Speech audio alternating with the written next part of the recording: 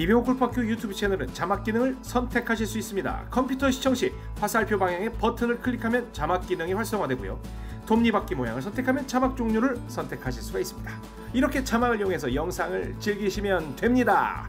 그리고 스마트폰 시청 시에는 상단 오른쪽 점 3개를 클릭합니다. 화면과 같이 셋째 칸의 자막란이 나오고요. 바로 이어서 언어를 선택하면 해당 언어로 자막 기능을 즐기실 수 있습니다. 이병호 골프 학교는 좋아요, 구독, 알람 설정을 기다리고요. 멤버십 프로그램은 실전 레슨을 똑같이 제공합니다.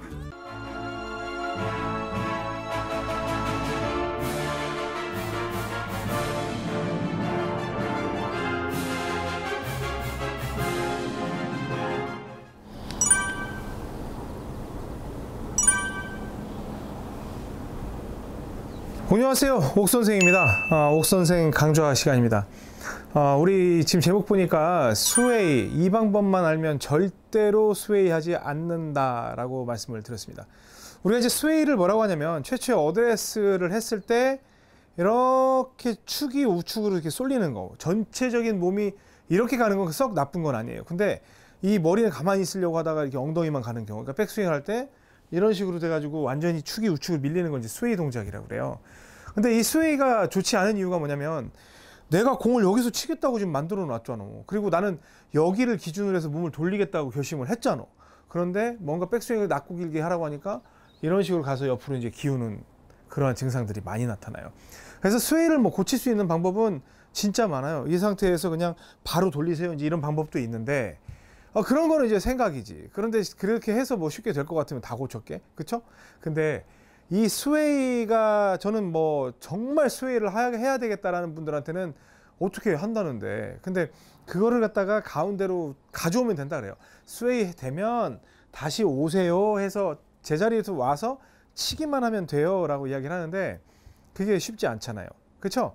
그래서 이 sway가 되는 이유에 대해서 설명을 좀 하면 일단 뭐 교습가들 책임도 있어. 교습가들 여기서 그냥 바로 이렇게 돌리세요라고 하지 않고 낮고 길게 빼세요. 그 다음에 돌리세요 하다 보니까 낮고 길게가 이게 그냥 여기서 그냥 낮고 길게 빼면 되는데 이걸 갖다가 공만 보고 있으면 되거든. 이렇게. 근데 이게 헤드를 따라가요.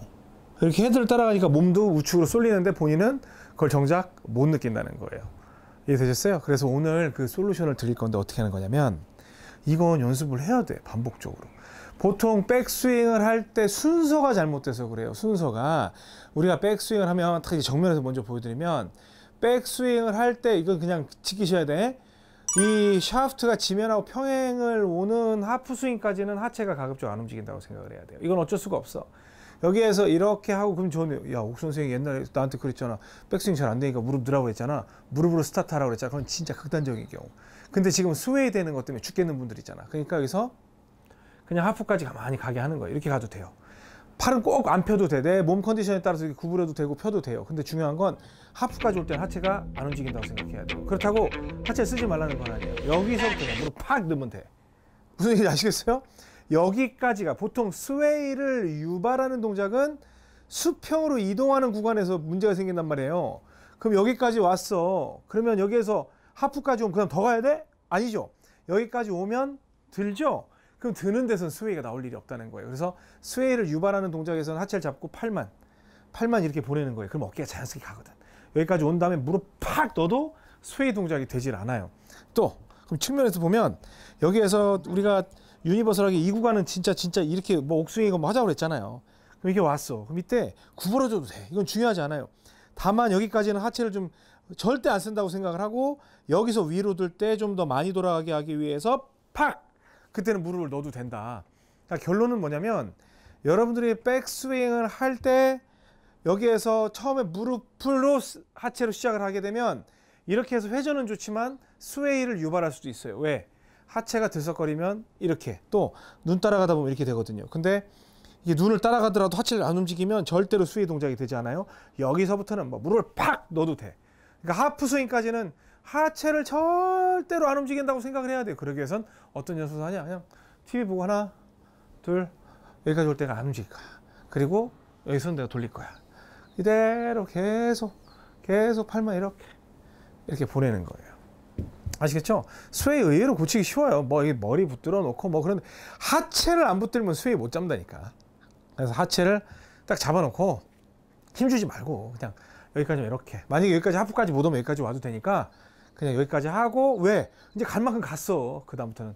위로 갈 때는 하체가 얼마든지 들어가도 돼요. 그러니까 테이크백에서 하프 스윙 갈 때까지만 버텨주면 스웨이라는 건 존재할 수가 없다. 여기서 이렇게 딱 했는데 뭐 이렇게 간다? 하체를 잡았는데 어떻게 이렇게 가? 여기서 그냥 팔만 보내기로 했잖아요. 노력해야 돼요 이 구간을. 그냥 안다고 되는 게 아니에요. 아셨죠? 이거 꼭 한번 연습해 보시기 바랍니다 뭐 옥선생 강좌라고 해서 뭐 이런저런 거에 대해 설명을 드리겠지만 스웨이 이렇게 하면 절대 안 생겨요. 이런 제목으로 해서 여러분께 좀 편하게 접근할 수 있는 제목으로 레슨 해드리도록 하겠습니다.